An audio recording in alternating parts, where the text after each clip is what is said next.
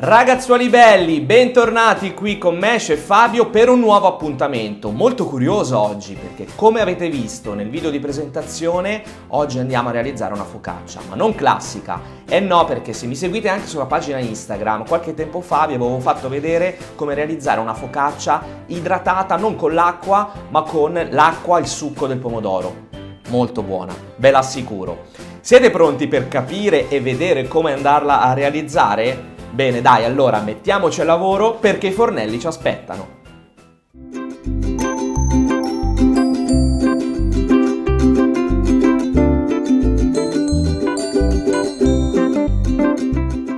Sveliamo quindi gli ingredienti. In questa bolla abbiamo 100 g di farina 00, in quest'altra 300 g di farina 0 Manitoba, poi abbiamo l'equivalente di una bustina di malto diastasico, se non ce l'avete prendete pure un cucchiaino di zucchero, 10 g di sale, 3 g di lievito di birra, questo è dell'origano che utilizzeremo alla fine, qui abbiamo 30 g di olio extravergine d'oliva e due pomodori da insalata che saranno proprio quelli che daranno l'idratazione alla nostra focaccia. Due pomodori, l'equivalente di 240 g. Mettiamoci a lavoro. Partiamo dai pomodori, dovremo andare a creare la parte liquida. Intanto ho preparato anche un frullatore, tagliamo i pomodori, anche a pezzettoni grossi, eh, non vi preoccupate, e li andiamo proprio a riporre all'interno del nostro mixer. Tutti i pomodori sono ora nel mixer, andiamo a frullarli. Il consiglio che vi voglio dare nel mentre è quello di andare a comprare dei pomodori che sono molto morbidi, quindi sceglieteli con cura perché quelli troppo duri risulteranno un pochino più acerbi e con una concentrazione di acqua minore. Andiamo a frullarli. Mi raccomando, eh, frullate per bene andando avanti per un po' di tempo che così eh, risulteranno più liquidi. I pomodori si sono frullati alla perfezione, dopo 30-40 secondi sono ben omogeneizzati, iniziamo il secondo step, quindi mi preparo l'impastatrice. Sulla macchina utilizziamo il gancio, lo sono già andato a mettere e nella boule vado a mettere per prima tutte le parti liquide, quindi iniziando dai pomodori, l'olio extravergine d'oliva e mettiamo subito il lievito, così non lo facciamo entrare a contatto diretto con il sale che metteremo solo per ultimo. Il malto e poi le due farine. Come ultima cosa proprio il sale. È arrivato il momento di chiudere, iniziamo a lavorare l'impasto a velocità 1.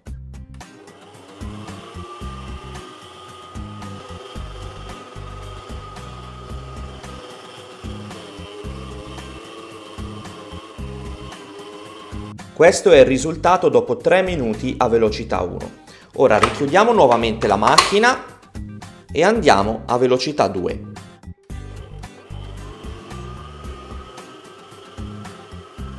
Dopo altri 7 minuti di lavorazione a velocità alta l'impasto è pronto.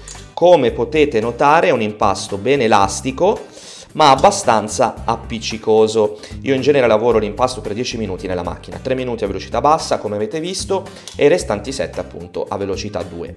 Sono andato a mettere un po' di farina sul piano di lavoro, ho recuperato l'impasto dalla boule, ma guardate qua, bellissimo, ben elastico, gli diamo qualche giro ora con le mani prima di metterlo nella pellicola. Eccoci qua lo chiudiamo e lo lasciamo riposare.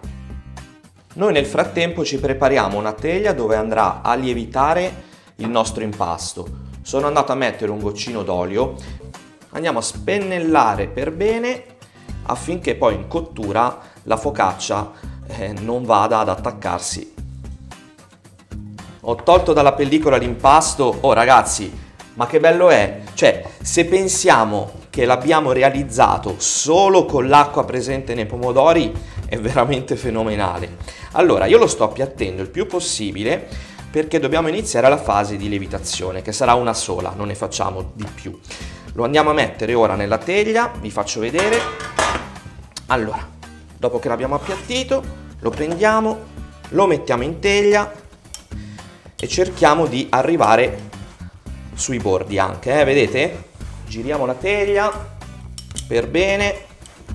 Oh. E ci siamo. Ora, voi sapete, anche nelle altre videoricette di lievitati che ho fatto in questo modo, preparo e fatelo anche voi, una bowl con dell'acqua bollente e facciamo lievitare l'impasto in forno spento, quindi con l'idratazione dell'acqua bollente, per 7-8 ore perché abbiamo messo poco lievito. Ho posizionato la teglia sulla griglia, siamo a metà forno come potete vedere. Sotto la bowl creerà all'interno una temperatura ottimale ed anche un'idratazione ottimale. Quindi chiudiamo accendiamo la luce e lasciamo lievitare per 7-8 ore, insomma, fino a che vediamo crescere l'impasto esponenzialmente e poi possiamo cuocere.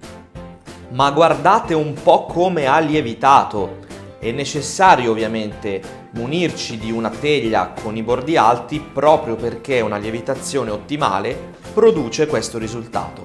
Ho preparato una piccola ciotolina con dell'olio e un goccino d'acqua perché ora prima di infornarla la andremo a spennellare d'olio. Mi raccomando, molto delicati perché altrimenti le pareti ovviamente eh, andranno giù, soprattutto sui bordi eh, che sono molto molto eh, delicati. Accendiamo il forno a 200 gradi. Ora possiamo mettere l'origano ed infine qualche fiocco di sale. Se non avete i fiocchi di sale potete anche utilizzare il sale grosso, non c'è nessun problema. Siamo ora pronti per infornare. È arrivato il momento della cottura, noi chiudiamo il forno, cuociamo a metà forno per 12 minuti. Finalmente la focaccia è pronta. Questo è il risultato. Ho preparato una griglia. Mettiamo la focaccia sopra così facciamo andare via l'ultima parte di umidità e prendo anche un goccino d'olio e glielo metto sopra. Lasciamola riposare per 5-6 minuti e poi andiamo a gustarla. Lo riposa sul tagliere ora, dopo che ha riposato per qualche minuto vi assicuro che il profumo è un qualcosa di fenomenale. Ricorda in qualche modo anche la pizza perché ovviamente l'idratazione è quella col pomodoro, con l'origano, ah, la morte è sua davvero. Andiamo a tagliarla, tra l'altro il riposo ha fatto in modo che diventasse un pochino più morbida. Io la vado a tagliare, così vi faccio vedere in live come è venuta, guardate, ma poi tra l'altro c'ha questo colore in qualche modo arancione, color salmone. Mm, mamma mia ragazzi, buonissima.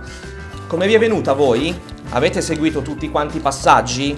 Dai, dai, fatemi sapere qui sotto nella sezione commenti. Tra l'altro c'è anche il mio cagnolino che eh, sta sentendo il profumo e vuole venire ad assaggiarla anche lui. Guardate che bella, guardate un po', morbidissima. Profumo, come vi ho detto, buono. Andiamo ad assaggiarla. Ragazzi, è la fine del mondo. Perché? In primis abbiamo utilizzato ingredienti buoni, farina, pomodori, eccetera, eccetera. Dopodiché avete visto ho messo pochissimo lievito, non mettete tanto lievito negli impasti perché altrimenti accorciate sì i tempi di lievitazione ma poi vi fermenta in pancia. Mentre qua 1, 2, 3 grammi di lievito, 7, 8, anche 10 ore di lievitazione hanno permesso un risultato molto buono, molto fragrante, bella perché è alveolata molto bene, è soffice e non vi fermenta in pancia. Quindi dai, mi raccomando ragazzi, riproponete a voi stessi e alla vostra famiglia questa bella focaccia. Mi raccomando iscrivetevi al canale se non l'avete ancora fatto, ma anche alla mia pagina Instagram, lasciate qui sotto come vi ho detto prima dei commenti, un bel like che mi serve per il posizionamento e ci vediamo alla prossima video ricetta. Ciao ragazzi!